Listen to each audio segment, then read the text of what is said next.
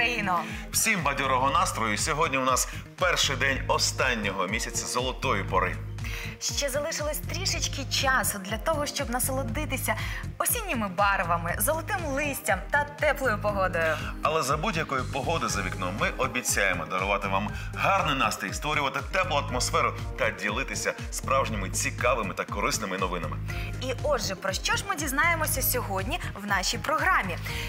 Ми поговоримо про те, хто такі вегани. Це прихильники здорового способу життя чи справжні сектанти. А ще в нас сьогодні музична п'ятниця, і до нас завітає гість із сонячної Грузії. Він створить для нас запальні ритми Кавказу, щоб у нас був справжній бадьорий ранок. І це далеко не всі сюрпризи. Сьогодні буде багато несподіванок, але будь-яку справу не слід робити надше серце. І якщо ви вагаєтесь, що саме приготувати на сніданок, вам допоможе наша кулінарна рубрика.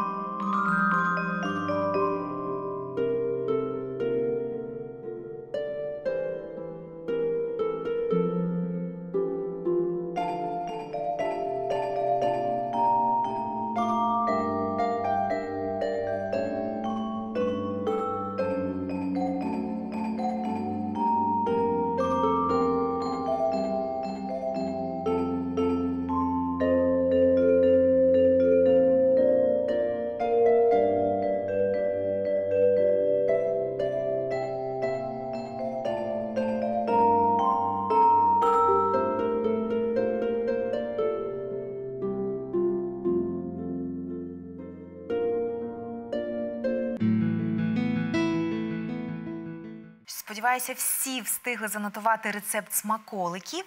І гадаю, що помітили, що він був вегетаріанський. Це ж не просто так, а тому, що саме сьогодні святкується Міжнародний день вегана. А відзначати цей день почали в 94-му році в річницю першої веганської спільноти, утвореної 44-го року у Британії. Але не слід путати веганів та вегетаріанців.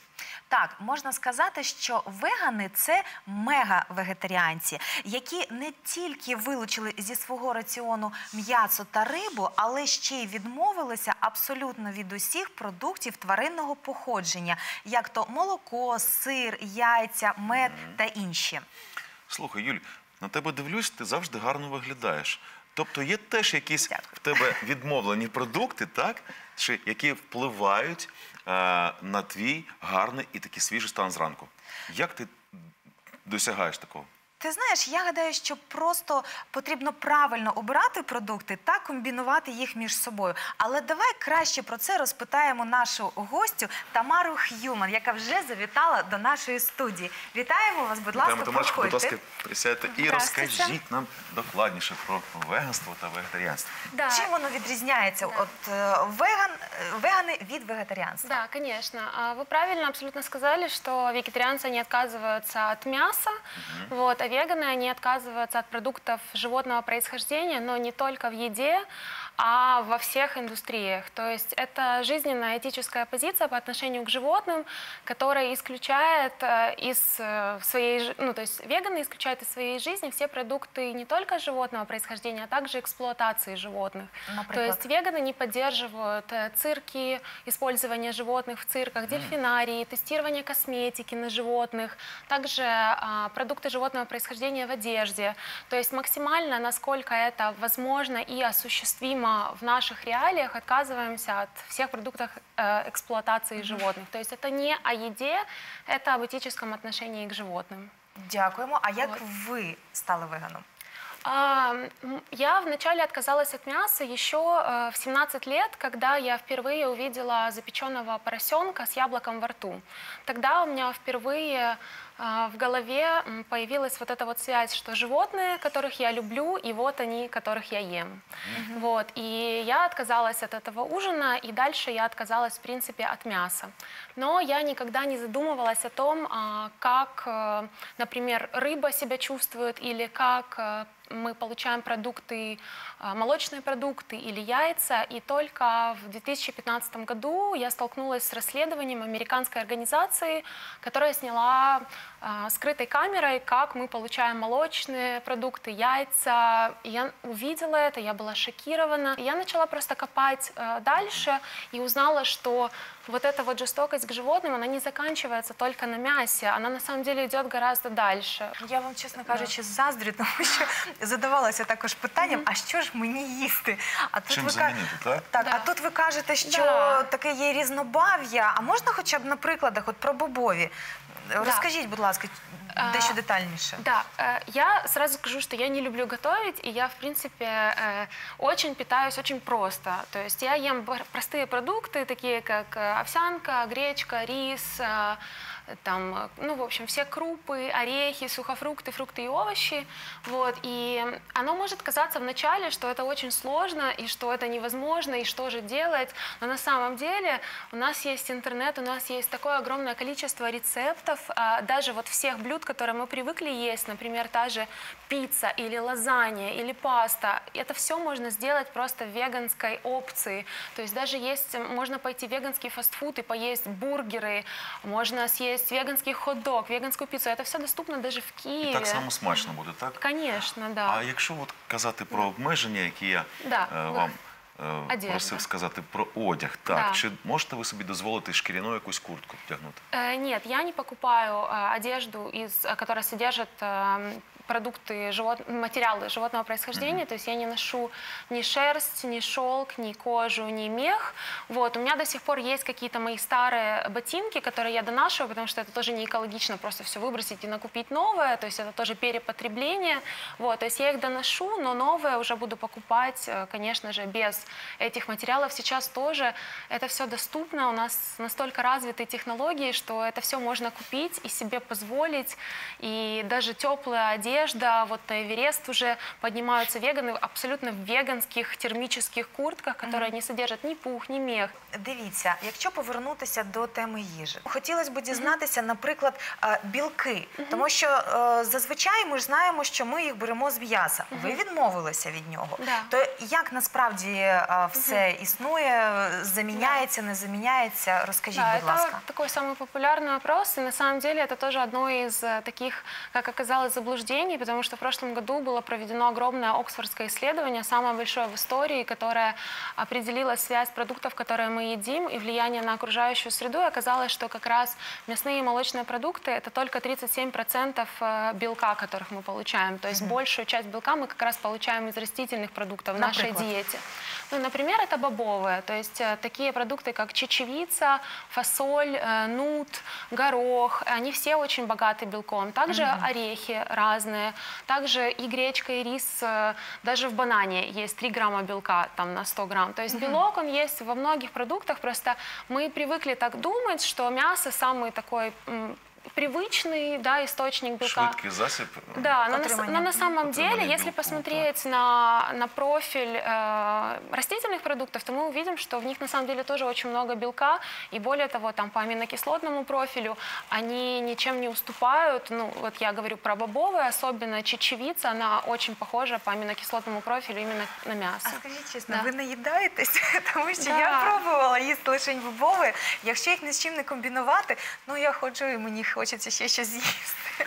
Есть такая, ну, есть, э, я наедаюсь точно, то есть я вот, если я завтракаю, как я обычно завтракаю, очень калорийно, это овсянка с орехами, финиками и бананами, то есть я там, ну, могу до действительно вечера не хотеть кушать, но кушаю, потому что ну, я понимаю, что это нужно. То есть эти продукты сытные, но, конечно, если мы, например, э, вот питались мясо, молоко и все эти продукты, а потом резко начинаем просто питаться овощами, которые просто сами по себе содержат меньшее количество калорий, конечно, нам будет казаться, что мы все время голодные. То есть нужно не забывать питаться и а, жирами, то есть это кушать э, какие-нибудь, ну вот и орехи, и авокадо, оливковое там масло может быть, вот, и калорийные продукты, каши обязательно, вот, и тогда вы будете чувствовать насыщение. Плюс это может быть просто, эм, не знаю, от привычки зависит, что вы привыкли вот это кушать, а теперь кушаете что-то другое, просто ваш организм еще не, Частково, не, разоб- напевно, не разобрался. потрібно змінювати. І, Да. до речі, чи відчули ви, чи відбулися зміни у вашому організмі? А ну, до того ж, як жінки, так ми звертаємо увагу на кожу, на волосся, на нігті. Цей момент. А, Честно, не, не помню, чтобы что-то изменилось. Вот никак не заметила вага? ничего. А, Я поправилась вообще по сравнению с тем, Ух какая ти, я была. взагалі ж не навпаки кажуть, так? Э- это почему худеют? Потому что, в принципе, эта пища, она менее калорийная. И вообще тоже по данным исследований, веганы – это единственные э, люди, единственное питание, на котором а, э, индекс массы тела в норме. Все, все остальные диеты, на самом деле, люди чуть-чуть э, перебирают. Розвиваючи Вот. цю тему, Да. не можу не спитати. От інколи доводиться чути, що вегани ті самі сектанти. І в інтернеті багато інформації про те, що люди, займаючись веганством, втрачають вагу, якісь жахи такі, навіть вони шкодять своєму здоров'ю та життю. Що ви на це скажете, як прокоментуєте і чи є певний ризик? Э, Смотрите, даже если зайти на сайт Министерства здравоохранения Украины, то в прошлом году они опубликовали заключение о том, что вег- все вегетарианские диеты, включая веганские, являются сбалансированными, это важно, являются адекватными и здоровыми для всех людей на всех этапах жизни, включая беременность, лактацию, ну, малый возраст, пожилой возраст и подходит для спортсменов. Это есть на сайте Министерства здравоохранения Украины и более того 29 других диетологических ассоциаций, педиатрических ассоциаций э, дали эти заключения о том, ну, у нас уже достаточно исследований о том, что если правильно а, балансировать это питание, как и любое другое питание, которое ну, всегда нужно балансировать, вот, то это может покрыть все, необход... ну, все нужды в нутриентах. Вот. И что касается секты, а, это э, часто тоже звучит это обвинение, и я веду свой канал на Ютубе, и как раз вот вчера выложила видео с ответом на этот вопрос. Дело в том, что почему это не секта и почему это э, не религия. А, Во-первых, дело в том, что мы идем, э, скажем, в ногу с наукой, то есть, например, мы не распространяем какие-то там, мифы или догмы, то есть мы, если мы видим исследования новые, которые приходят, мы готовы изменить там, нашу позицию тоже. То есть раньше существовал миф о том, что а, молоко, например, вымывает кальций, и многие веганы как бы это транслировали и говорили об этом, но появились опровержения, и мы как бы это принимаем и говорим, что нет, это была неправда. И в этом-то и разница между там, сектантством и религией, то, что мы не слепо верим, мы а, верим а, в доказательную медицину, то есть мы слушаем ученых, мы слушаем врачей, мы следим за этими исследованиями, и более того, это не религия, это просто отношение к животным, и мы не хотим а, их эксплуатировать, если это не является необходимым. А от ви е, згадали про балансування їжі. Скажіть, будь ласка, як це відбувається, які, як це має бути? А, тому що я знаю, там розрахунки якісь потрібно вести. Нет, нет. Ну, Я- вы, а вы як сейчас тоді? ведете какие-то подсчеты? Ні. Ну вот, Я, не, веду. веган на даному так, етапі. э, так в любом случае, э, смотрите, даже... А, ну будь-яка їжа ви маєте на увазі має бути збалансованою. Да, да, так. любой Ну, раціон- приблизно в Організм голові, сам підкаже, що ти хочеш. любой, так? любой рацион... що потрібно, кажуть. Да, любой рацион, э, он должен быть сбалансирован. То есть э, люди на традиционном питании тоже часто имеют дефициты многих э, веществ. Вот, и обращаются также к врачам. То есть любое питание должно быть сбалансированным. И когда мы говорим про веганское сбалансированное питание, это значит, что нужно получать ну, нужно м, питаться и бобовыми, там, и зерновыми, и фруктами, и овощами, то есть иметь богатый рацион растительных продуктов, но также веганам обязательно а, принимать B12, либо кушать обогащенные продукты. Это витамин, который вырабатывается бактериями, и а, веганы могут их получать только либо в продуктах обогащенных B12, либо а, в витаминах. От хотіла Наприклад. останнім питанням а, так зробити, чи є якісь застереження а, з вашого боку до людей, які е, чи тільки починають, чи е, планують е, у майбутньому стати веганами, щоб вони ну біди ні на не накоїли. А, Знаєте, Да, к- это очень верно, потому что э, действительно есть э, много, ходит каких-то историй, страшилок о том, что вот веганы погубили свое здоровье. Конечно, такое есть. Э, Нужно относиться к этому серьезно, нужно э, изучать информацию, которая доступна, нужно следить э, за своим здоровьем. Это я советую не только веганам, а всем людям. Вот, обязательно э, пить B12, если вы стали веганом, вот, и просто проходить плановое обследование, там, сдавать кровь, У проверя- проверять себя, так же, как и всем. Ми дякуємо Дякую. вам за цікаве інтерв'ю. Особисто про себе можу сказати, що я не буду зараз миттєво змінювати свій раціон, але вітаю всіх, хто обрав зелений спосіб життя та харчування. Але як це не шкодить вашому здоров'ю. Так, і цікаво, звісно, що веганство набирає обертів і все більше і більше інтегрується у наше життя. От, наприклад, у Великій Британії вже навіть створюють веганські готелі та квартири. Як це? Що це? Давайте дізнаємося з нашого сюжету.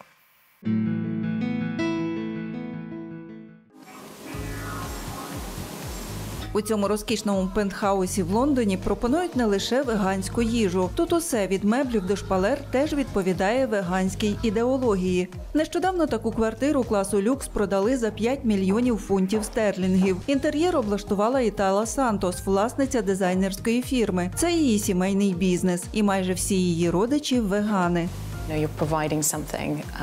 Ми пропонуємо те, що з погляду естетики дуже розкішне та гламурне.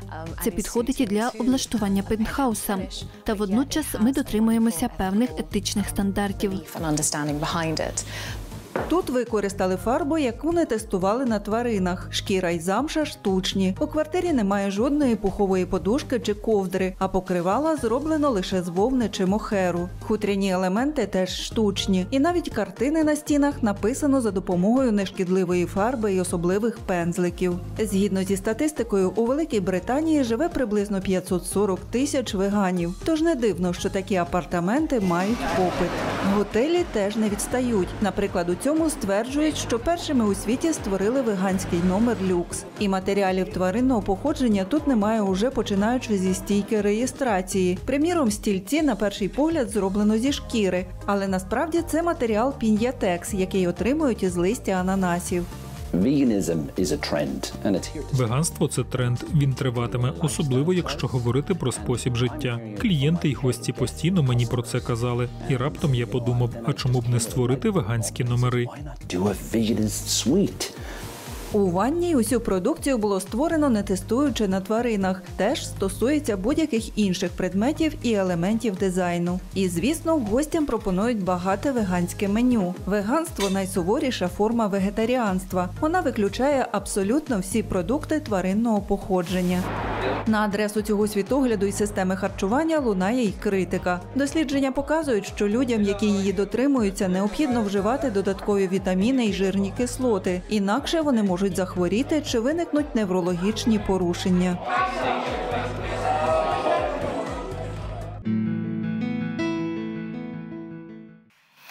Знаєш, я б сказала, що це не просто веганський, а навіть еко-веганський готель. А я тобі скажу, як так далі піде, то і в Україні з'являться і квартири, і такі самі готелі. Можливо, але давай про це запитаємо нашу Діну. Можливо, вона вже володіє інформацією. Давай, Діночко, привіт тобі. Будь ласка, розкажи щось новеньке, інформативні, якісь цікавинки.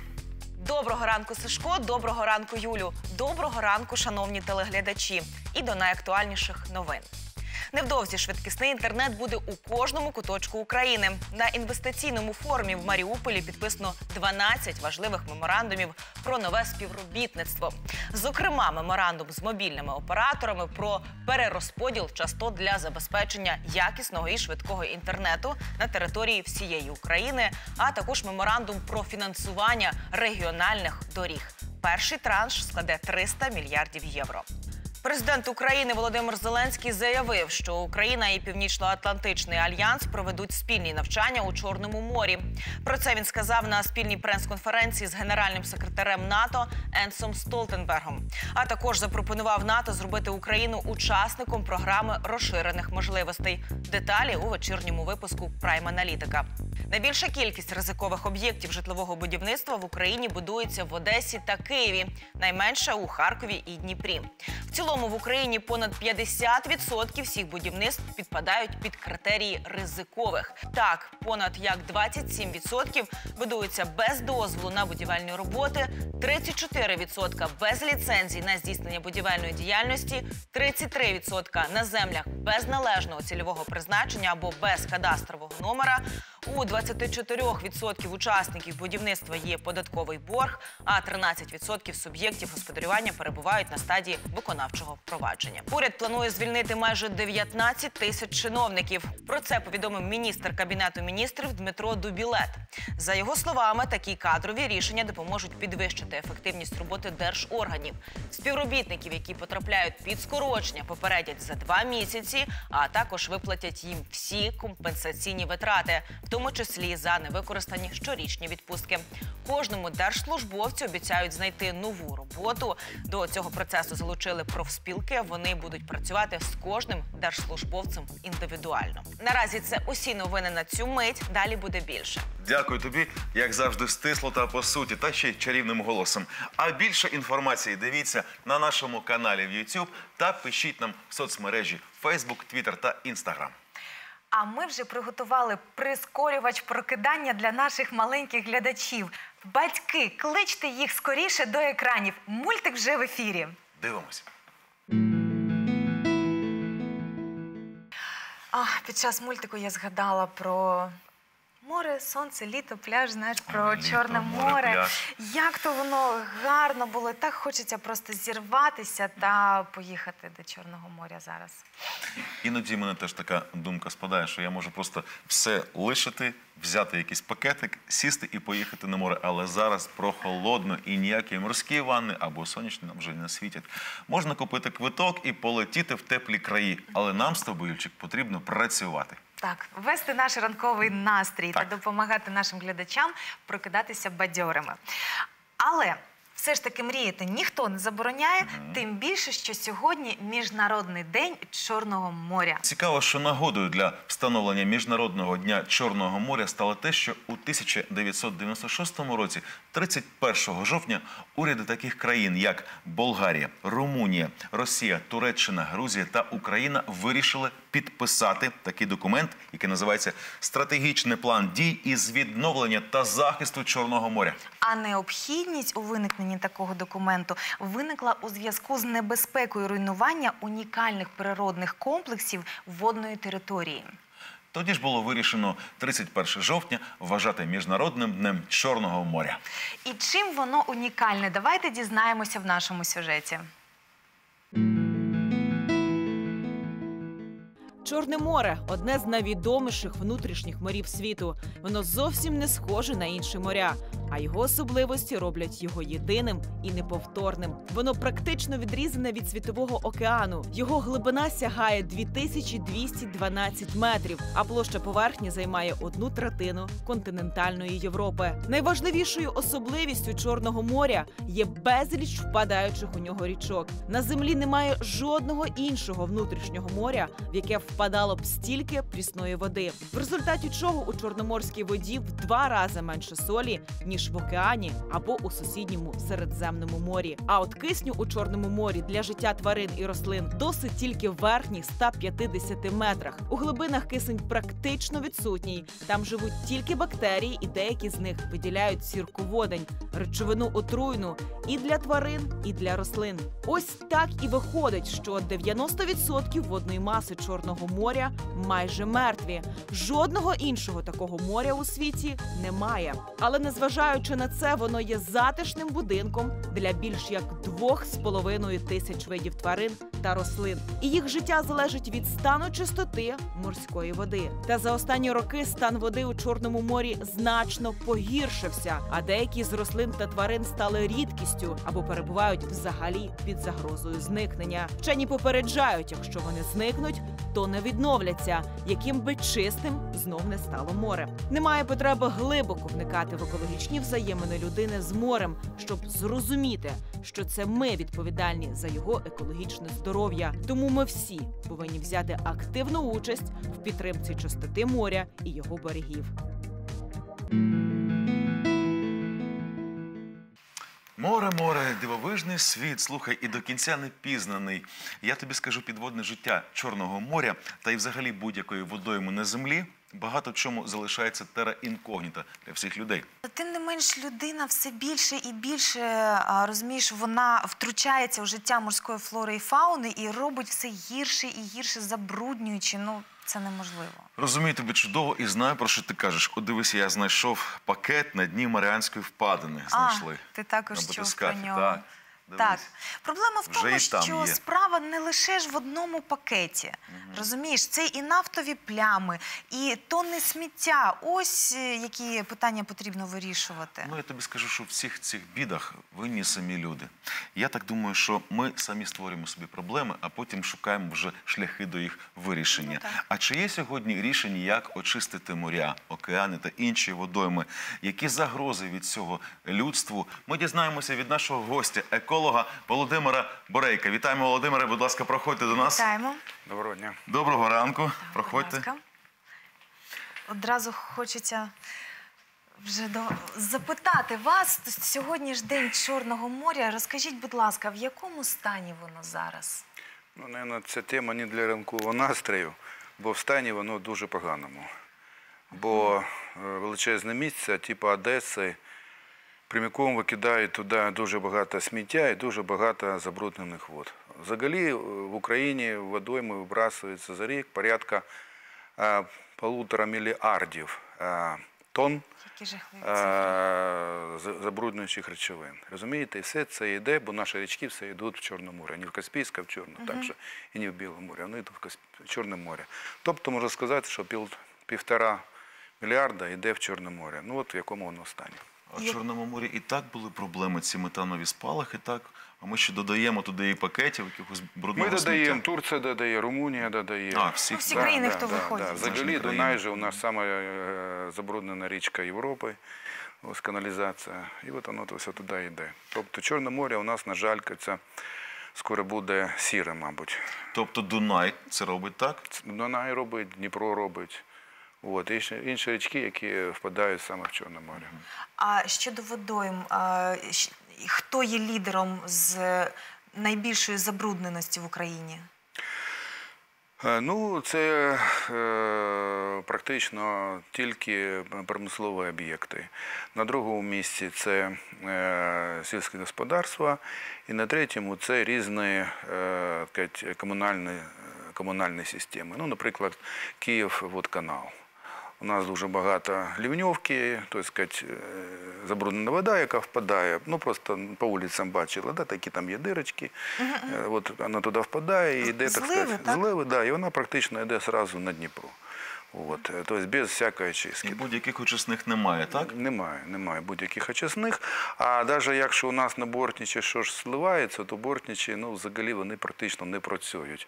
Бо це ще в 60-х роках їх створили, і вони, ну, вже знаєте, технічно, просто технічно, фізично не працюють. Тобто, яким чином це забруднення впливає на екологічний стан, на життя тварин, риб, птахів, ну от на всіх, хто Ну, такий приклад е, про Існує людей. Про людей да? от якщо у нас є е, от Дніпро йде через всю країну, так? От якщо ми беремо е, північні області, які є на Дніпрі, да? і беремо е, південні області, то люди в е, південних областях е, жив- е, живуть десь на 20 років менше, ніж е, в північних. Бо вони, просто вони, вони вживають саме, саме забруднену воду, яка вже тричі, трижди, чотирижди пройшла через очистку. Розумієте, це мертва вода. е, Життя людини скорочується на 20 років через те, що вони п'ють забруднену воду. Так? Вважають, да, вчені вважають, що саме завдяки тому, що вони п'ють воду з Дніпра, а ну, звідки вони? Тільки з Дніпра, там же вже це нема Але ж, але ж ми навчилися очищати воду, робити якісь фільтри, якісь величезні компанії рекламують, що от ми вам робимо воду з будь-чого, там навіть з калюжі можна зробити, вона буде кристально чиста. Чи, це- чи це правда, чи можна так використовувати? Ні, ці ну ресурси? розумієте, е, да, є, так сказати, наука, а є практика. Ось е, наука дійсно пропонує різні, так сказати, е, пропозиції, як очищати, а практично цим ніхто не займається.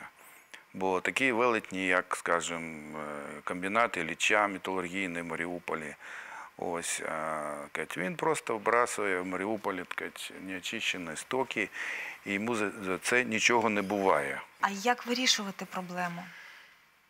Ну, розумієте, в країні, де величезний рівень корупції, де, е, на жаль, державні органи практично знаходяться в такому стані, що вони не можуть працювати. Ну, от, наприклад, екологічна інспекція. Вона, от ви написали скаргу, що там щось забруднюється, да, здохла риба. Вони согласовують десь два місяці. Та вже воно не актуально. Приїдуть, рибу вже немає.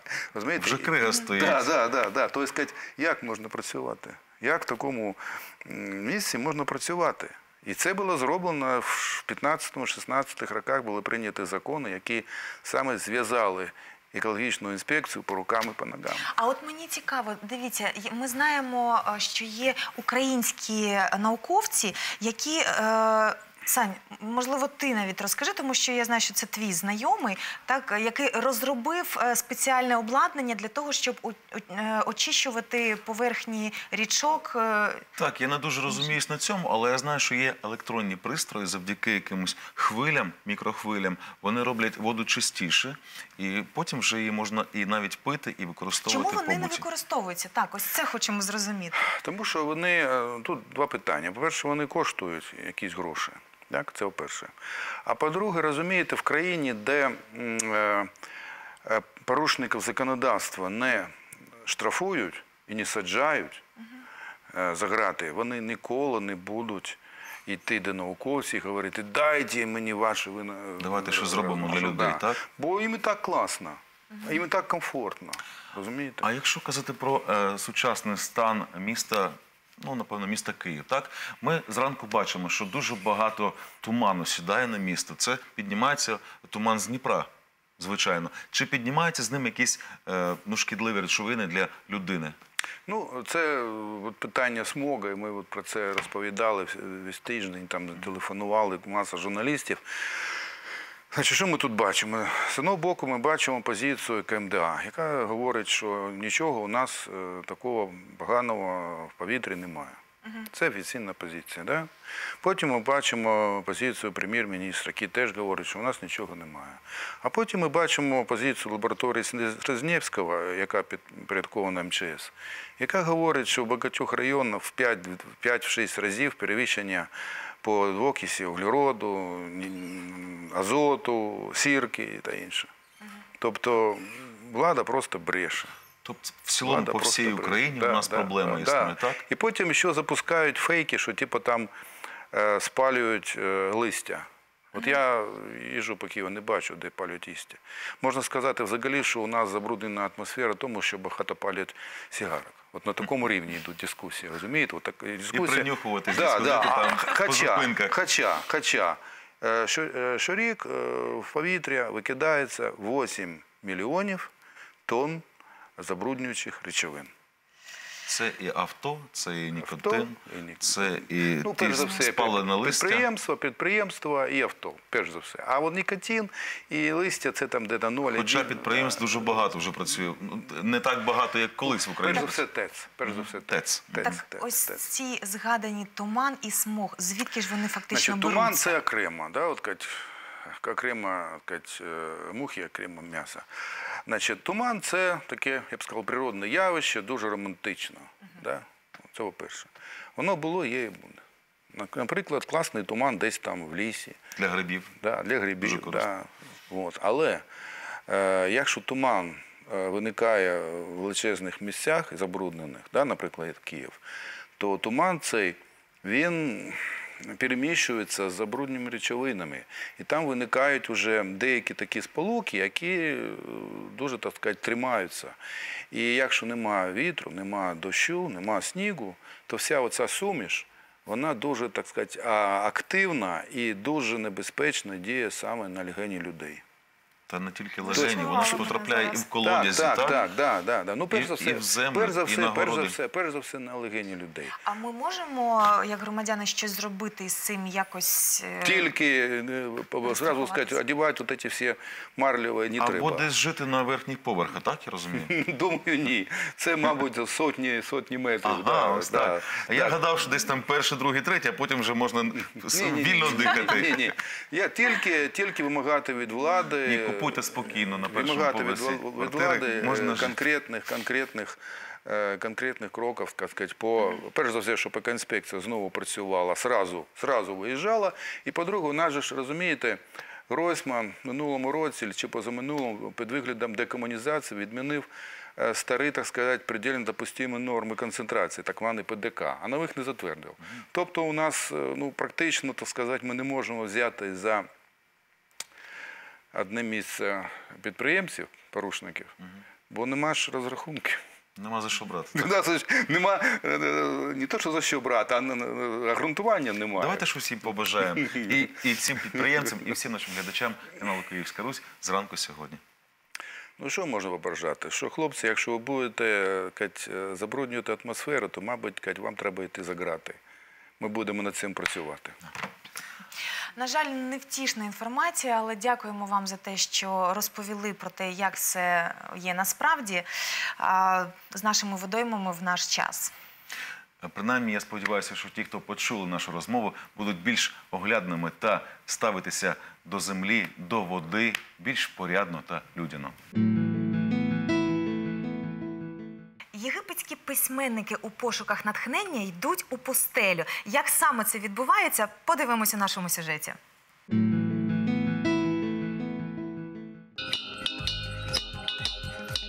У невеликому місті посеред пустелі й далеко від цивілізації збираються єгипетські письменники. У тиші й на самоті вони проведуть три дні. Така відпустка допоможе їм віднайти втрачене натхнення. Цей проект два роки тому заснувала романістка Худа Анвар. Колись вона переживала творчу кризу, але відпочинок у горах на Синайському півострові додав їй сил. Самота допомагає позбутися психологічних і життєвих проблем, з якими може зіткнутися письменник. Такі проблеми виникають часто. Кожен письменник-аматор або письменник середнього чи професійного рівня постає перед труднощами, які заважають творчому процесові. Спілкування з товаришами по перу додає письменникам упевненості в собі та сміливості висловлювати думки.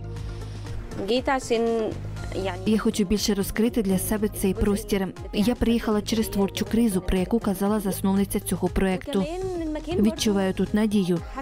Я тут уперше, тому дуже хвилююся. А деякі вважають за краще посидіти на самоті й поміркувати. Кожен обирає сам. Я люблю писати. Читати мені не подобається. Я люблю писати про свій внутрішній світ. Мені це корисно, бо я розповідаю іншим про те, що маю всередині. Це заспокоює. За два роки єгипетські автори збиралися у відокремлених місцях уже 12 разів. Творчу реабілітацію пройшли 100 письменників. Завдяки віднайденому натхненню з'явилося 20 книжок. Крім того, письменники заснували клуб, який допомагає новакам публікувати свої твори.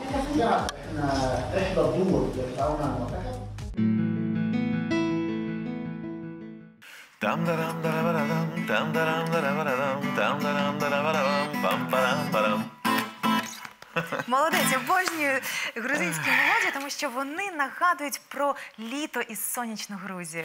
Ну, літочка, нам з тобою придеться почекати. А от привіт сонячної Грузії я тобі гарантую вже зараз, тому що до нас завітав музикант, композитор, співак Дуду Ніа і разом зі своїм Дуду Бендом. Будь ласка, Вітаємо проходьте до нас вас. і щось ми таке Будь ласка, гарненьке. проходьте, проходьте швидше. Заспіваємо зараз, сідайте. покажемо всім, як починати ранок музичний. І розкажіть нам одразу, влаштовуйтесь і розказуйте про ваш гурт. Сейчас. Так, сідайте, будь ласка.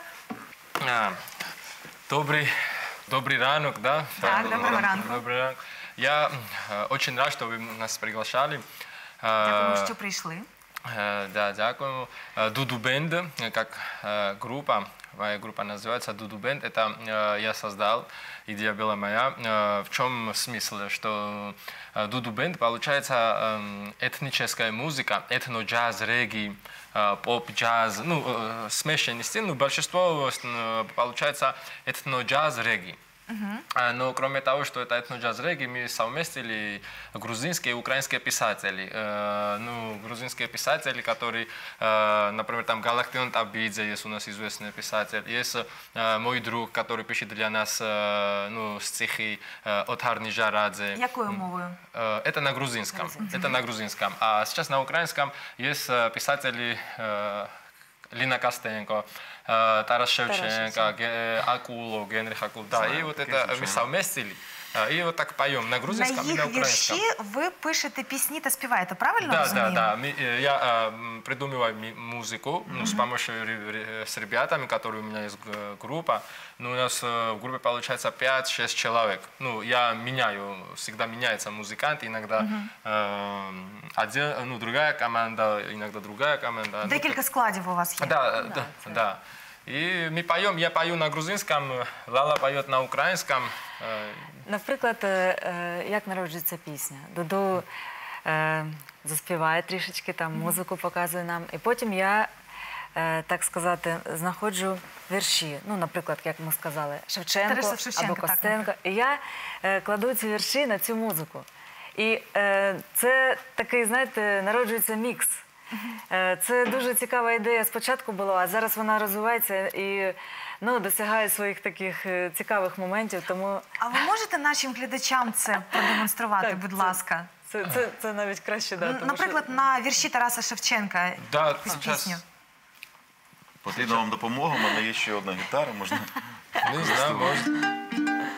А можна я підіграю на всю на барабані, так? Хорошо. Я вже тут присяду.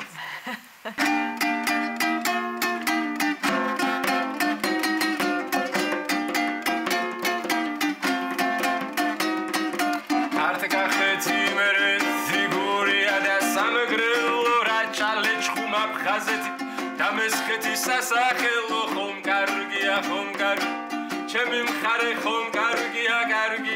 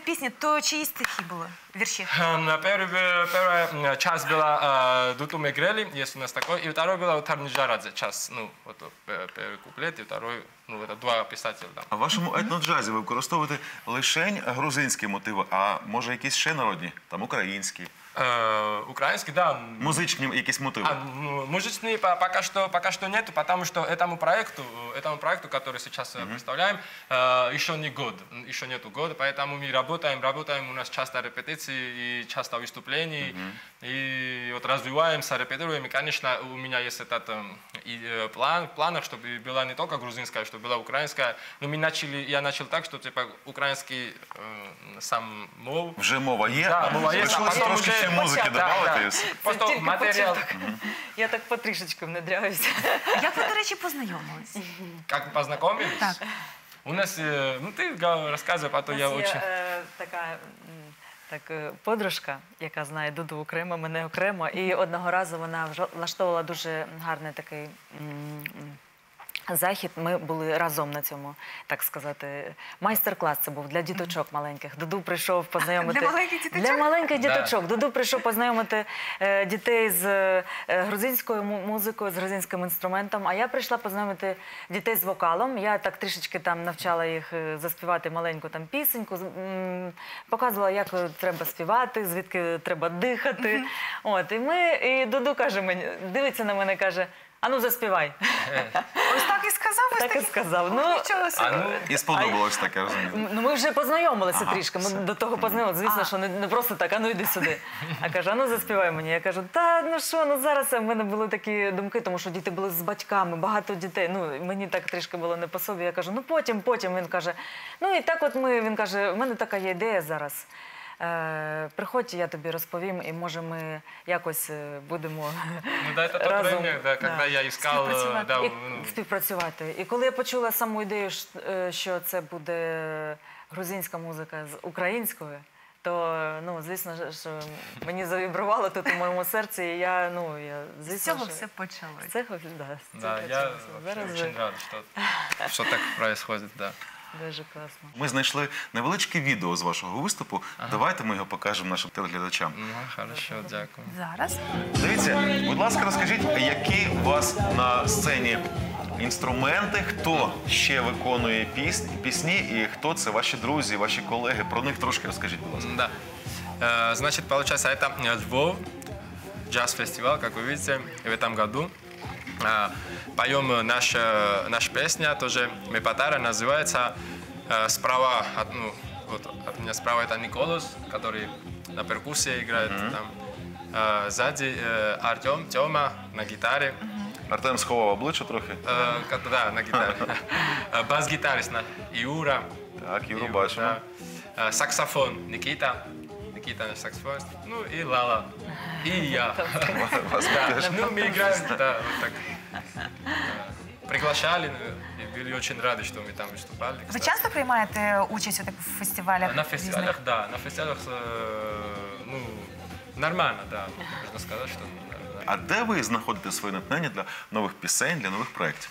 Э, типа, вдохновление, да, муза- Смотрите, это так, так получается, что это м, необъяснимое для меня, потому что бывает так, что вот месяц проходит или два, так чтобы я не могу ничего придумывать. И потом вот просто дома сижу, ну, не могу понять, а, откуда это. И что-то приходит мне в голову и мучает. Ну, начинает, что типа вот... мне- Давай, вставай, роби. Да, и мне Хоч- хочется хочется за- выйти. Да, фандури, гитара, там что-то, и начинаю а, этот, и бывает так, что один день бывает, иногда, э, ну, бывал так, в крайнем случае, что э, два э, песня я, ну, придумывал что-то, два, ну, материал.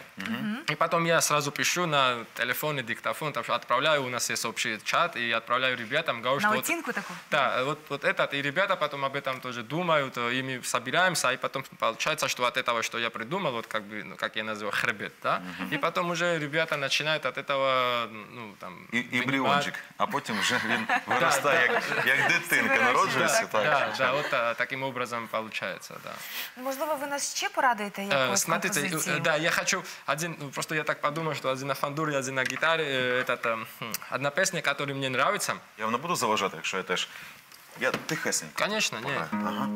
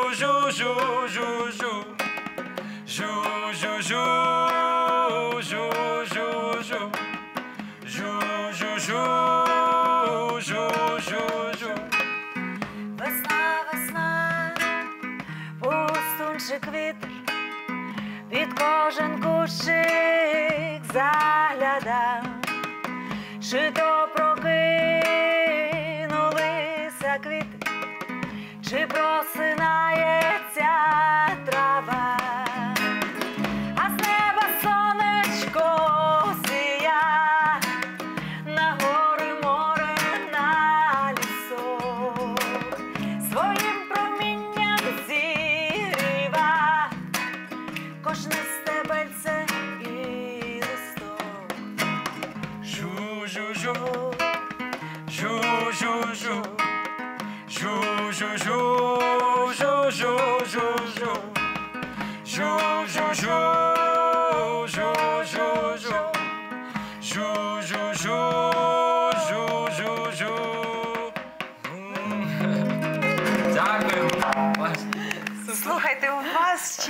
Одна прихильниця з'явилася.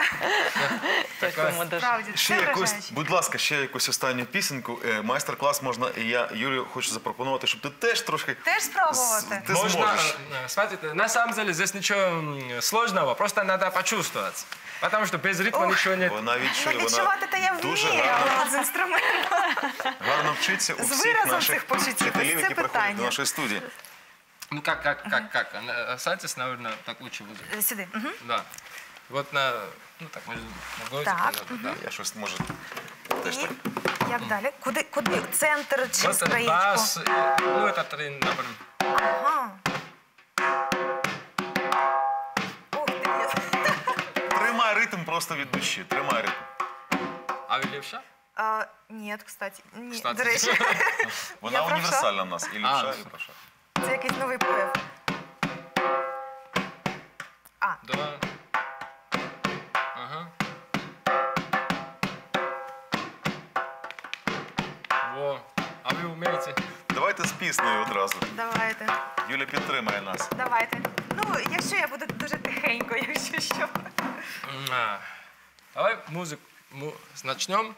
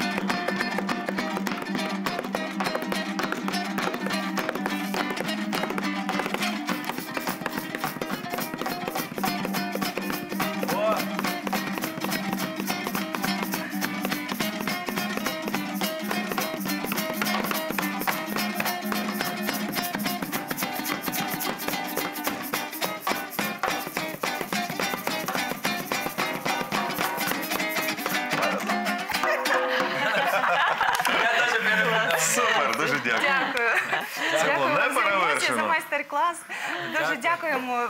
Щиро бажаємо вам натхнення, друзі. Що е, дуже дуже багато шанувальників, щоб ви були відомі не лише в Україні, в усьому світі, тому що ви дуже класні. Класно, дякуємо дуже за, за Дякуємо. Ну будемо чекати зустрічі на, на, на ваших концертах. Сподіваємося, ви нас запросите. Нових пісень, нових концертів і багато шанувальників. Да, приходите раз. дуже дякуємо. Дуже дякуємо. До нових зустрічей. До нових зустрічей. Таксофони прощавайте через низький попит і збитковість Укртелеком припинить надавати послуги зв'язку через таксофони з лютого 2020 року. Сьогодні в Україні майже 5 тисяч таксофонів. У середньому щодня з одного таксофона відбувається лише близько 2,5 хвилин розмов. В Укртелекомі зазначили, що обладнання, яке використовується на таксофонній мережі, фізично і морально застаріло і взагалі не виробляється в Україні. До того ж, послуга таксофонії є збитковою. Твіттер відмовиться від розміщення політичної реклами. Про це повідомив у соцмережі глава компанії Джек Дорсі. За його словами, політичну рекламу у Твіттер припинять по всьому світу, оскільки політичну ідею потрібно заслужити, а не купити. Найближчими днями антициклон сприятиме тому, що в Україні пануватиме суха, прохолодна погода. Тому одягайтеся тепліше та бережіть себе. Я прощаюся з вами до завтра. Бажаю вам гарного та продуктивного дня. Отже, що можна сказати? Що світ, дивлячись на новини, він не припиняє нас дивувати. І однією з таких речей, яка продовжує захоплювати і дивувати століттями навіть, це стеля Сікстинської капели Мікеланджела Буанароті, яку він е, створював 4 роки. Весь цей час він висів на спеціальних підмостках, запрокинувши голову отак назад, і створював цю шедевральну фреску. Через 4 роки роботу було завершено. Ось подивіться, будь ласка. Майстер зіпсував собі здоров'я, звичайно, проте його геніальна фреска, на якій зображено біблійні картини, залишилася на віки. І саме 1 листопада 1512 року фреску Мікеланджело було представлено народові. Неймовірна робота, звісно, це просто щось особливе таке. І я захоплююсь людьми, ти знаєш, які, попри все, вони продовжують іти до своєї мети. І дуже шкода, що зараз е, фрески вже не такий популярний вид мистецтва, як то було раніше. Юль, не засмучуйся. Я думаю, що і фрески мають жити, і їх мають писати, розписувати художники. Не засмучуйся, тому що життя не стоїть на місці, існує багато видів мистецтв. І я тобі ще розкажу про одне мистецтво, яке ми вже сьогодні і неодноразово в наших передачах піднімали. Це художній розпис стін. Хоча виконується за іншою технологією, але виглядає дуже схоже. Це мурали. Тоді давай вже запросимо до студії нашого гостя. Зустрічайте Андрій Пальваль, художник, Андрій, який вітаємо створює вас. фрески на сучасний лад. Вітаємо вас, Андрію. Будь ласка, дуже приємно. сідайте. Раді вас бачити в нашій Нав- студії. навзаєм. І перше ж питання: мурал. Цікава назва. Що це взагалі таке? А, Це власне стінопис, це велика робота художня в в публічному просторі. А ви не знаєте, звідки слово пішло? Якась історія така цікавенька? Ем, Історія є цікава, її можна довго розповідати. А якщо стисло? А якщо дуже стисло, ну вважається, що з'явився перші мурали, такі, які ми знаємо, це в Мексиці. Власне, потім після того е, в Сполучених Штатах вони розповсюджилися. І коли вже з'явилася змога е, технічна робити їх е, на великих поверхнях, це розповсюджилося по всьому світу.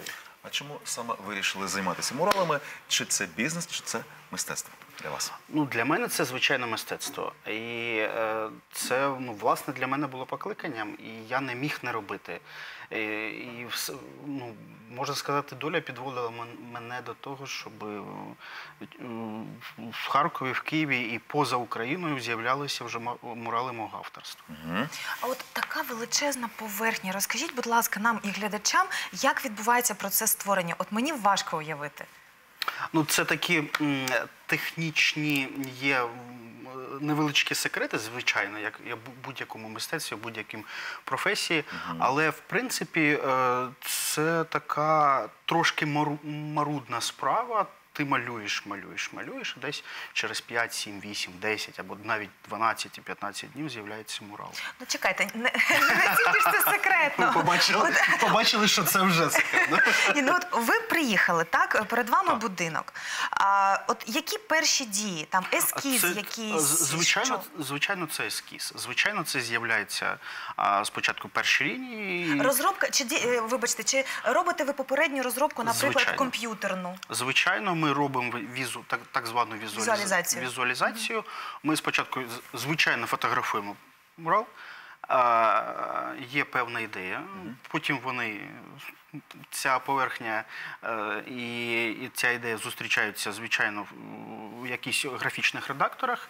А якщо це вже є- робиться ескіз, і після того він переноситься, на- переноситься на стіну, власне. Ви кажете, ми, то це у вас команда якась величезна, так? Я завжди кажу ми, тому що у нас є творча група Кайлас В, яка власне і займається цими справами. Тому що е, треба розуміти, що це е, великі розміри і. Час від часу потребує не е, щоб це були сили не одно ні однієї людини, а звичайно колективу. Які в Києві ваші мурали і де вони знаходяться? Їх декілька цих моралів. Ті, які мені болять і які мені дуже приємні, це звичайно крутий мурал на Васильківській. Майже найсвіжіші це портрет Симона Петлюри, це портрет Михайла Грушевського і портрет е, е, Павла Скоропадського.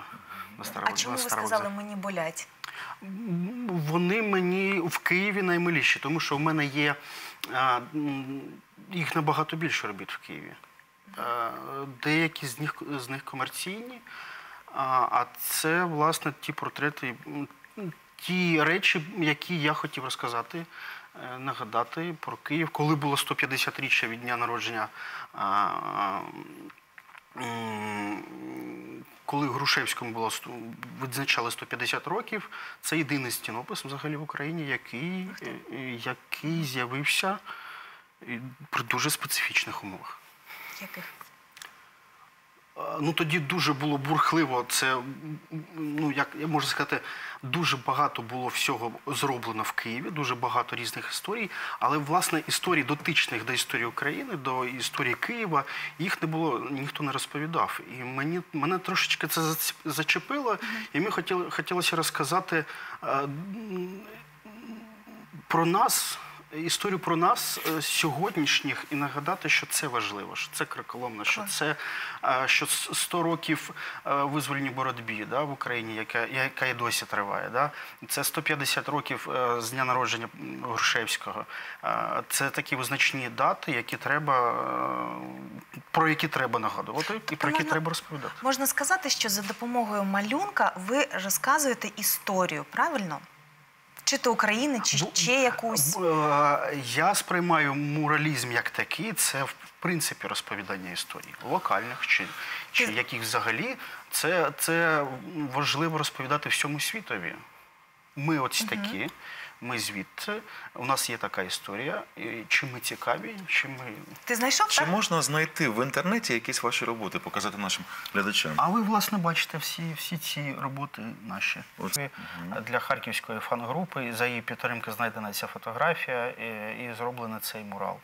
Ну, така для мене це дуже приватна і особиста історія. Я дуже радий, що я взагалі зміг зробити історію е, портрет Кузьми, тому що мені вдалося розказати невеличку історію про нас сьогоднішніх. Якщо Так, Грушевський, ми бачимо вже на Якщо моніторі. Грушевський, так, Скоропадський, це е, така сива історія да, столітньої давнини, то е, портрет Кузьми для мене особисто це історія про нас.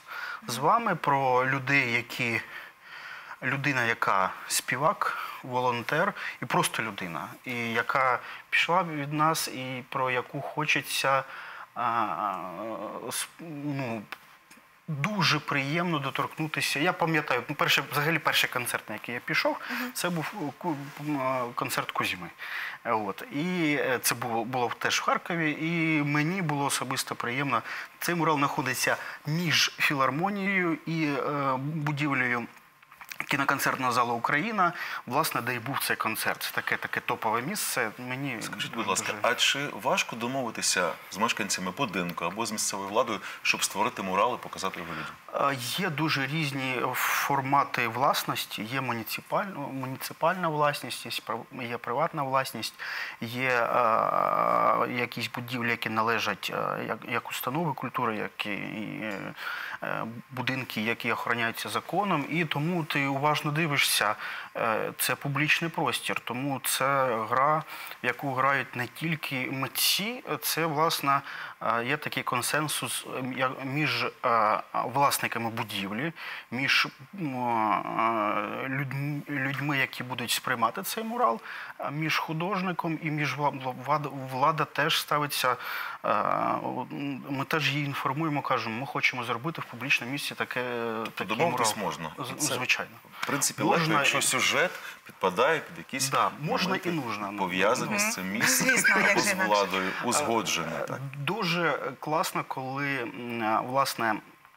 А мурал він ре- є, входить в резонанс з місцем, і є, і тоді віддача від нього є навіть якийсь діалог. Деякі люди, люди його можуть, е, можуть повністю анімувати, додавати VR-технології, якусь додану реальність, як до Кузьми, до, до речі, якусь впев- ну, в певному додатку ви можете включити, і там буде програватися пісні, старі фотографії. І це зробили абсолютно на якісь волонтерських засадах. Люди, яких я не знав на той час, абсолютно. Який наступний мурал ви плануєте малювати і в якому місці? Я зарікся казати, який мурал, в якому місці. Я тільки можу згадати, що були е, самі крайні мурали. Це був Казахстан, це був Китай. Угу. Да, Це не навіть тільки Україна. Звичайно. А скільки коштує зробити мурал? А, Ну, певні гроші він коштує. Ну, Це треба купити фарбу, треба замовити техніку. Приблизно, хоча б якийсь порядок І цін. не хочу, не хочу навіть тикати пальцем у небо. Від. Давайте хоча б від. Ну, якщо ви хочете створити мурал, ви маєте е, заплатити там кілька, кілька м, з час від часу це кілька тисяч доларів треба витратити. Це вже щось. Да, це, це, це, це матеріали, це техніка, це фарби, це якісь, е, як, якщо є гонорар, це, Це ціна за ідею. це, це на за, За за, мистецтво. За мистецтво, так. Одним Повер- словом. Повертаючись до доданої реальності, як ви казали, на муралі до Кузьми, чи є якісь мурали ще з такою віртуальністю? Певний, що є.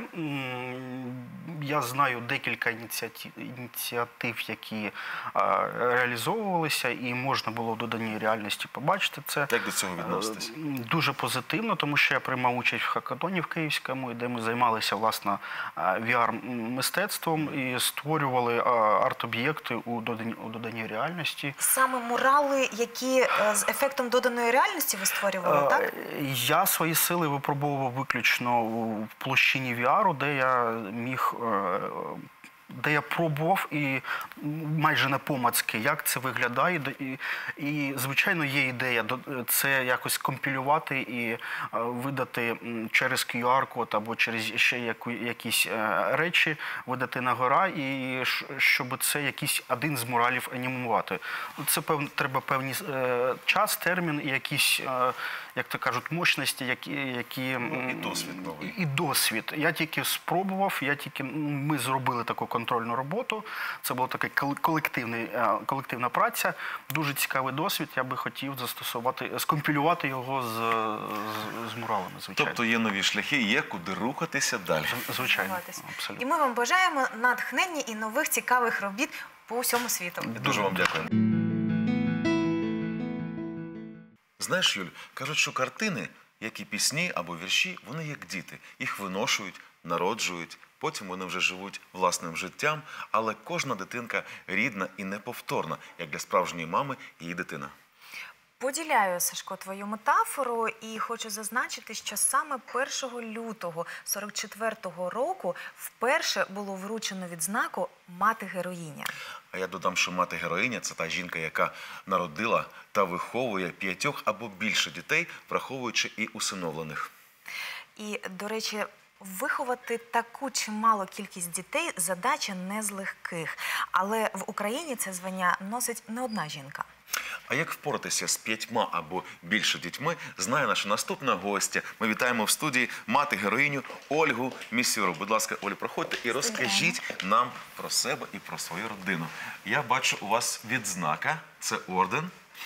Як і коли ви його отримали? Так, Я получила его в семнадцатом году угу. на, на, ко Дню матери. Це вже коли народили п'яту дитинку, так? Нет, э, нужно воспитать до восьмилетнего возраста ребенка. Только тогда, имея какие-то заслуги и награды, как мама, воспитавшая детей, вот, тогда дают такую ознаку. Тобто найменша дитинка повинна бути не менше вісьми років. Да, то у меня их шесть. Мгм. А як ви встигаєте все от, наглядати, виховувати? Як? Ну, На самом деле, вот почему-то сложился миф, что воспитать детей очень много, очень сложно. На самом деле, дети, наоборот, э, э, как-то маму Стимулируют? стимулируют, как-то держат в тонусе, то есть не дают расслабляться. То есть у каждого ребенка есть свои обязанности, каждый помогает друг другу. То есть это гораздо Ага, ви на- проще. Ви, одразу з дитинства їм це прививаєте, є таке да, слово, так? конечно. Один потому за что- одним дивляться, так? Ну, как бы не то, что я перекладываю обязанности на детей, но каждый ребенок знает свои обязанности. То есть все дети знают, что моют посуду, что они убирают. То есть все, кто труду приучены. Виховуєте відповідальність в них, Да. так?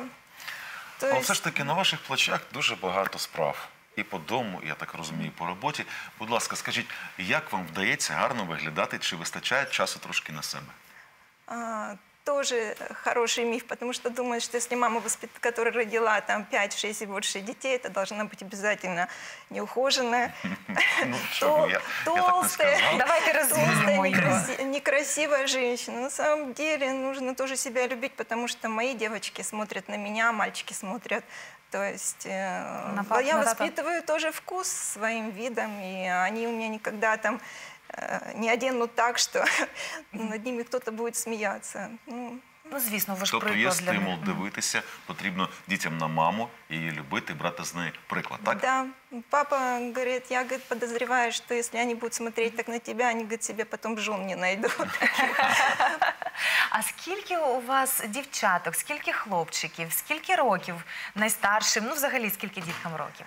Ну вот у нас, когда мы в роддом приехали с шестым ребенком, у нас так по записи девочка, мальчик, девочка, мальчик, девочка. Ждете мальчика? Ну, мы сказали, конечно, мальчика. Но родилась девочка. Папа сказал, наверное, произошел сбой в программе. Поэтому пока мы остановимся. Так, а по рокам скільки кому? Старшей дочери 24 года. Уже доросла. Вот, а, потом Иван 22, Еле- Елизавета 21, Алексей 12, Аня 10 і Маша 7. Наймолодші 7 років. Да. А плануєте ще? Не знаю. Як Бог дасть. Как будет, да. Таким метушні в таких справах величезних. Скажіть, будь ласка, чи є у вас якісь такі сімейні традиції відпочинку або якогось хобі? Да, обязательно. Я вообще вышиваю картины, и девчонки тоже мои как бы к этому приручены. Мы неоднократно побеждали. Ну, в общем, Дарницкий район нас очень хорошо знает, потому что мы то лауреаты, то призеры. Привіт Дарницькому Вот. району. Так, а що то були за конкурси? Э, Конкурсы, ну, таланты богодотитных родин в основном. У нас обычно І призовые такий є места. фестиваль. Да. В яких Вот. номінаціях ви вигравали? А багатодітних це, вибачай, це вже від трьох дітей, так? Да. Угу. Окей, я теж Вот, поїду. э, Давай. В основном У вас это- конкурент з'явився. Ну, у меня дети вообще многим заняты. Ребенок спортом занимается, легкой атлетикой, другой бальными танцами. А девчонки в основном там вышивка крестиком или что-то там повяжут. Ну вот. м, Про що мріють? м, Даже не знаю. Вроде бы все даешь детям, они так. Ну, как, хтось, как можливо, дети. кимось хоче стати. От вони приходили і казали, мама, я хочу там бути телеведучою, чи космонавтом, чи ще кимось. Нет, ну как-то у нас так э, м, дети вообще не, не определены, как, куда им идти. Мама, кем я буду? Мама, что это самое? Я только могу им советовать, а они сами себе там выбирают. А чи буває таке, що дітки е, потребують якусь більшу до себе увагу? Якісь ревнощі ви відчуваєте, що одна дитинка там більше за вами бігає, інша якось там дивиться на так? ну вчора прийшов син, поки нікого не было. Вот это об- обнялись, лежим. Я говорю, как же я тебя люблю, какой ты у меня хороший. Услышала меньше, прибегает, а меня?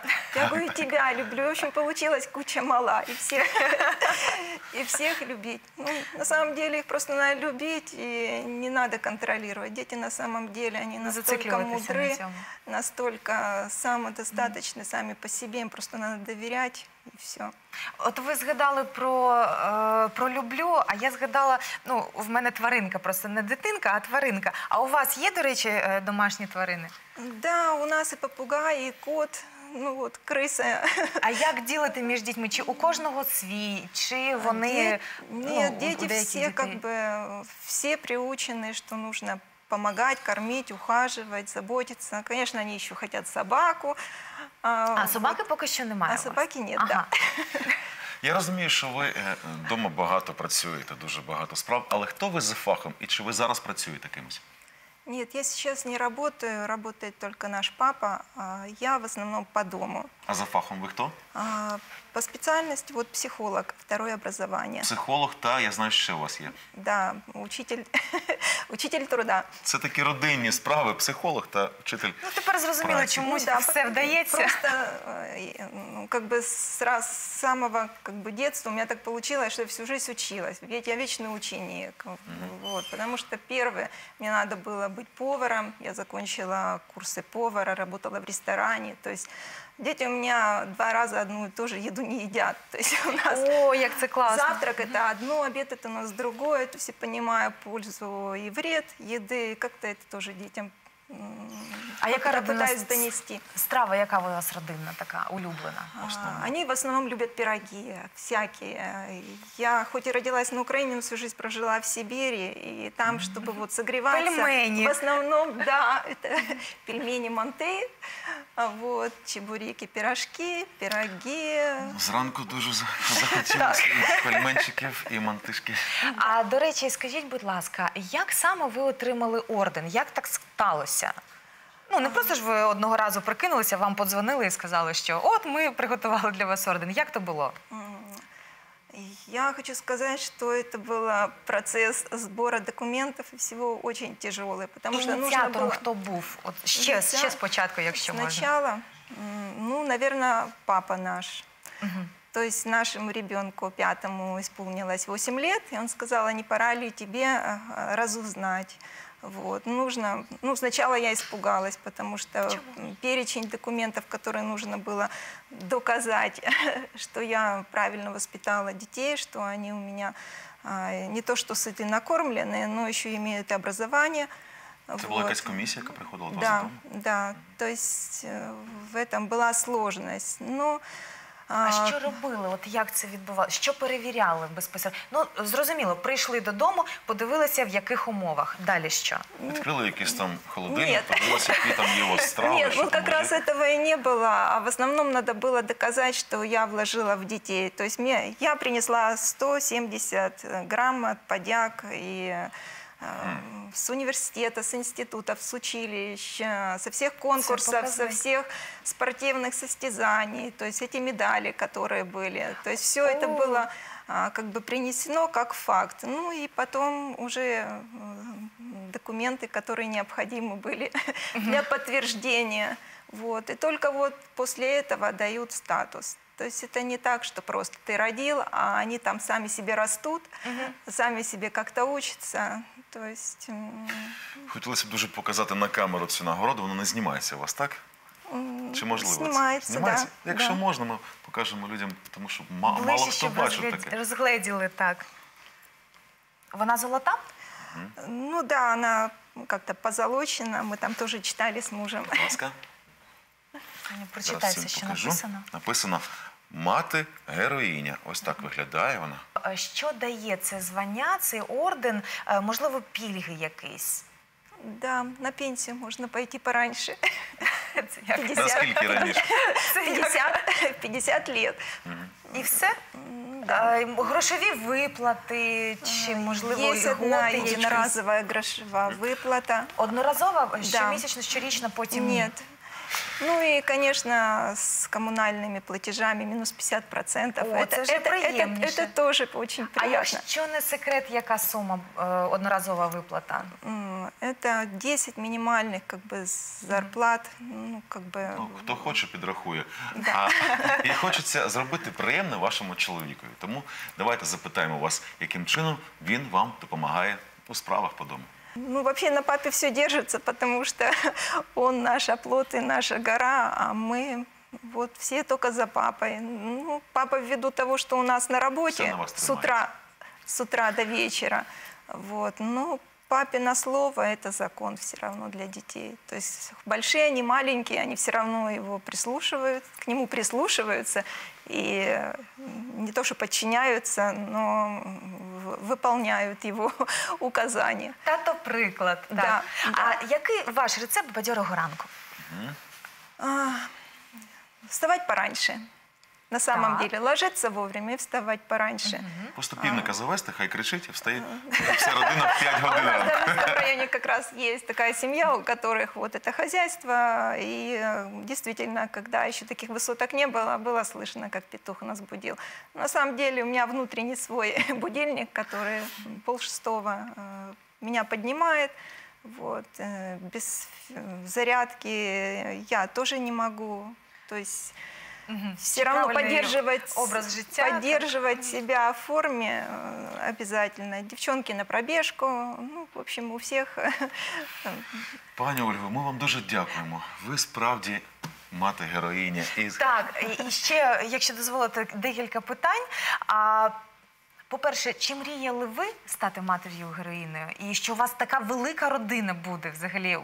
Коли ви Ні. були маленькою, ви уявляли собі, що Нет, так я, станеться? я не думала, э, я буду мамой героини, но у меня была подружка, у них было пятеро детей. Я всегда завидовала, когда идешь со школы, моя мама на работе, дома никого, пусто, а к ним приходишь, и всегда пахнет супом, пирогами. Думаю, как же хорошо, как я хочу, чтобы у меня так было. Наверное, это на подсознательном 100% уровне. вплинуло на вас. Оно так и сложилось. І можна сказати, що ви щаслива жінка? От жінка, яка має шестеро дітей, вона ж щаслива? Очень.